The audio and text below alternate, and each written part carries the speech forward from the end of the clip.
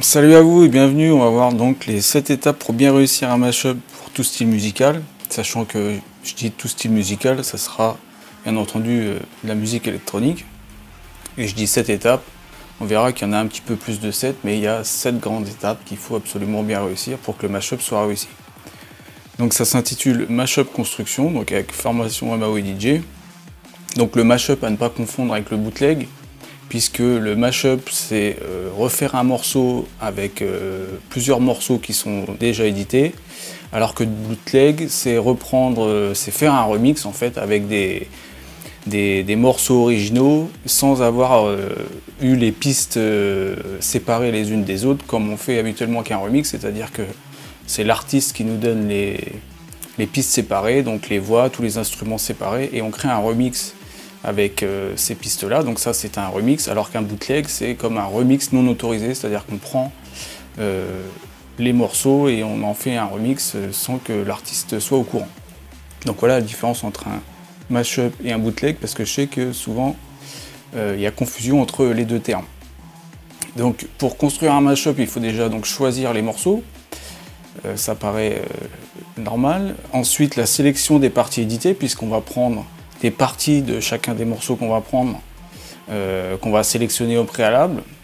Et euh, ce qui va être important, c'est de bien sélectionner euh, les parties qu'on édite pour que le morceau final ressemble vraiment à un morceau et qu'on ait bien respecté les cycles.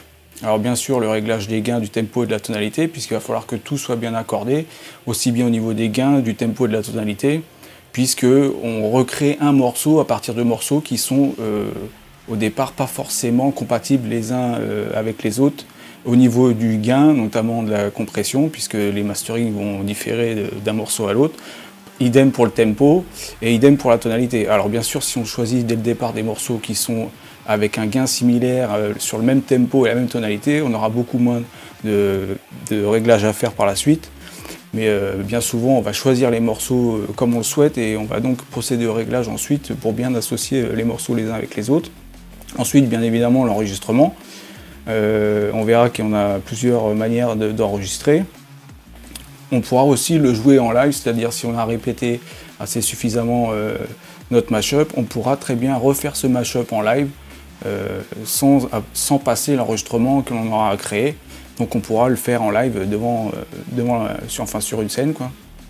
Ensuite, le montage du clip vidéo synchronisé. Donc on va créer un clip euh, en, association du mashup qu'on aura créé et on va synchroniser donc les effets du clip.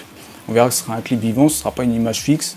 Euh, sur euh, les transitions ou sur le tempo du, mashup. Ensuite le cover. Donc on, fera donc la pochette du mashup.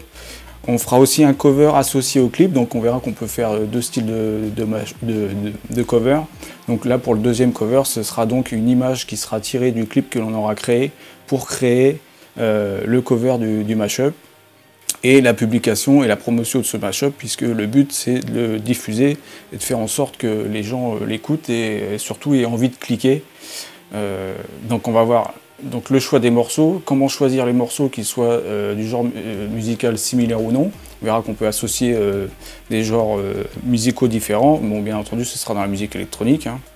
Les possibilités et les limites à ne pas dépasser. Hein. Comme je mets, on ne va pas mélanger du, trap avec la musique de grand-mère, puisque le résultat, faut qu'il semble naturel, faut que ce soit vraiment agréable à écouter. Donc il faudra vraiment faire attention aux voix Surtout euh, qu'il n'y ait pas de superposition euh, de voix euh, au final.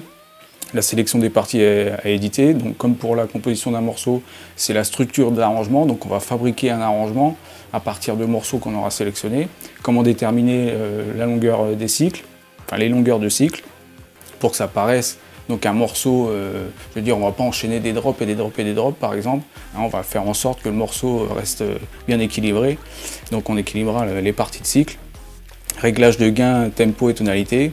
Donc on va voir comment régler les gains de façon à associer les morceaux comme dans un mix. C'est vraiment comme dans un mix DJ. Quand on mixe deux morceaux, on fait en sorte que les gains soient similaires et qu'il n'y ait pas de différence entre chacun des morceaux. Donc on verra comment adapter aussi euh, le tempo en fonction euh, du résultat à obtenir. On verra qu'on n'est pas obligé de maintenir un tempo constant. On va voir aussi qu'en utilisant des morceaux qui ont des BPM qui varient, bah, ce sera bien plus compliqué qu'avec un BPM fixe. On verra comment modifier la tonalité pour que les morceaux soient accordés harmoniquement. Donc il faudra faire attention aux fréquences. Hein. Là, je parle donc du mix euh, harmonique. Ensuite l'enregistrement, donc on va voir comment procéder à l'enregistrement. Écouter le résultat final, ça c'est vraiment une étape euh, importante. Euh, et comme pour tout enregistrement, donc on va l'écouter sur plusieurs systèmes d'écoute. Enfin, plus on l'écoutera sur plusieurs systèmes d'écoute, plus on entendra si le résultat sonne bien, sachant que normalement il devrait bien sonner puisque c'est des morceaux qui sont déjà masterisés. On va voir l'optimisation du fichier audio, puisque euh, comme on va faire l'enregistrement à un niveau euh, assez bas, comme, comme, dans un mix quand on fait un morceau, on remontera le niveau sonore euh, par la suite, donc on réduira les différences de, compression entre les morceaux, puisque chacun des morceaux qu'on va sectionner auront une, compression différente et on ajustera le loudness afin d'augmenter les décibels en RMS pour avoir donc un, bon résultat à la fin. Donc pour le en live, il va, falloir être capable de jouer le, le mashup et, en fait de recréer, de reprendre les, parties qu'on aura éditées. Donc ça c'est quelque chose qu'il faudra vraiment répéter. ajuster les tonalités, donc là il vous faudra absolument avoir un logiciel qui peut ajuster les tonalités, euh, euh, idem pour le gain et le, tempo. Donc s'il euh, y a des variations de tempo au sein du mashup que l'on crée, il faudra recréer ces variations-là quand on le joue en live. Donc il faudra forcément s'entraîner et faire en sorte que ça devienne un peu un automatisme pour qu'on n'ait pas le stress forcément le jour J, puisque quand on le fait en studio, tout se passe bien. Et puis quand on est devant du public, ça ne se passe pas comme on l'avait prévu. Ensuite, le montage du clip en synchro. Donc je vais vous expliquer, je vais vous présenter quelques logiciels. Vous verrez qu'en fait les logiciels, euh, pour la plupart, vous les avez déjà. Euh, c'est des logiciels bien souvent qui sont dans votre ordinateur, vous ne servez jamais, mais qui peuvent servir donc, pour euh, l'édition vidéo. On va voir comment appliquer les effets et créer des transitions, donc synchroniser avec l'audio. Donc par exemple, passer d'un effet audio sur une partie du mashup et quand on est sur une autre partie du mashup, on pourra mettre un autre effet vidéo par exemple l'exportation du fichier final. Donc le fichier final, ce sera le clip vidéo plus euh, le mashup en audio. Euh, donc on aura un bon signal audio puisqu'on aura remonté le, niveau. Et là, on l'aura déjà associé donc, euh, avec la vidéo. Le cover, donc créer une image attirante de votre mashup, puisque c'est vraiment l'image qui sera vue avant tout. Donc avant qu'on ait écouté ce que vous avez fait, les gens vont voir l'image. Donc si l'image donne pas envie d'écouter, euh, enfin donne pas envie de cliquer, euh, même si euh, ce que vous avez fait au niveau audio c'est super, si l'image ne plaît pas, les gens ils écouteront pas.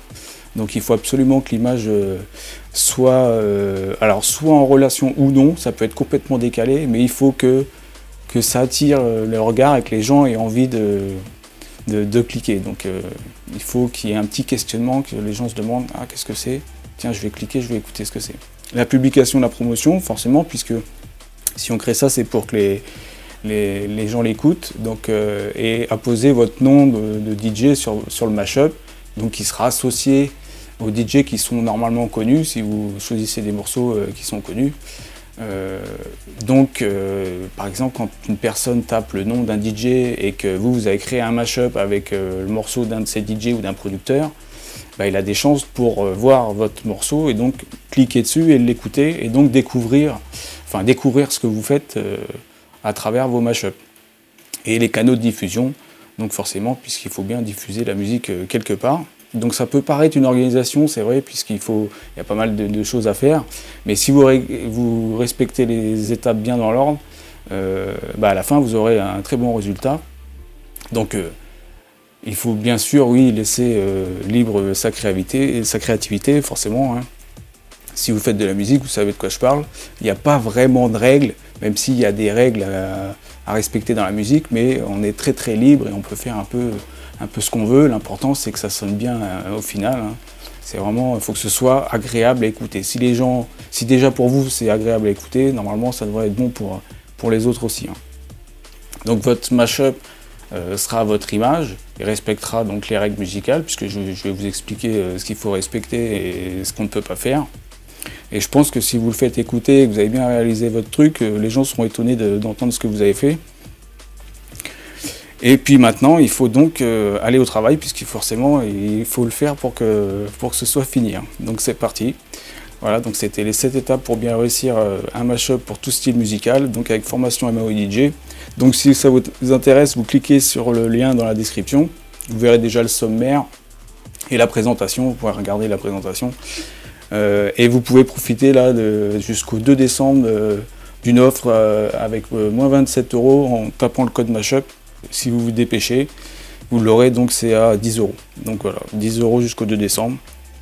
Et après ce sera donc 37. Euh, donc si vous dépêchez, vous pourrez créer votre mashup, créer votre clip, synchroniser votre cover et euh, avant le 2 décembre vous aurez terminé.